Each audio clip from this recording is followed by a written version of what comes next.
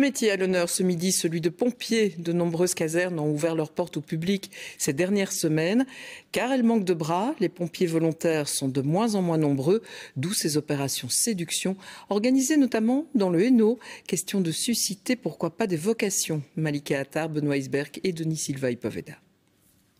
Deux personnes sont bloquées sur le toit, l'une est grièvement blessée. C'est un sauvetage délicat qui s'annonce pour les pompiers du poste de Chièvre. Corentin n'en perd pas une seconde, même si tout cela n'est que fictif. Il s'agit en fait d'une opération séduction dont l'objectif annoncé est de recruter, car les candidats pompiers volontaires manquent cruellement. Malheureusement, oui, on est obligé de boucher les trous, comme on dit, parce qu'il manque des fois une personne et pour ça, avec une, ne sait pas partir, ou bien une pompe ne sait pas partir. Donc on fait des efforts d'heures euh, de travail. Ici à Chièvre, les 30 pompiers sont tous des volontaires. Il en faudrait le double.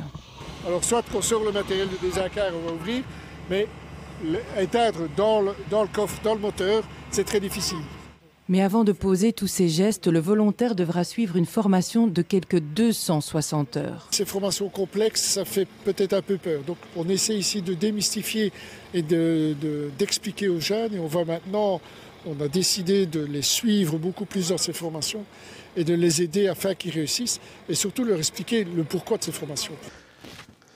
Tu viens pour euh, une candidature pour euh, futur pompier? C'est ça. Mais avant toutes ces formations, il faudra aussi obtenir un certificat d'aptitude fédérale et puis faire preuve de disponibilité et de flexibilité.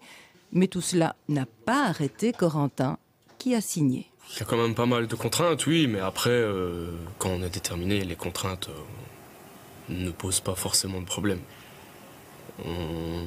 disons qu'on va s'adapter aux contraintes. C'est beaucoup de temps, c'est beaucoup d'investissement, c'est euh, donner beaucoup, mais aussi on, se sent utile à quelque chose. Dans la zone de secours et nos centres, 8 postes sur 10 ne fonctionnent que grâce à des volontaires. Ce jour-là à Chièvre, 25 candidats se sont manifestés. Ils devraient être sur le terrain dans deux ans.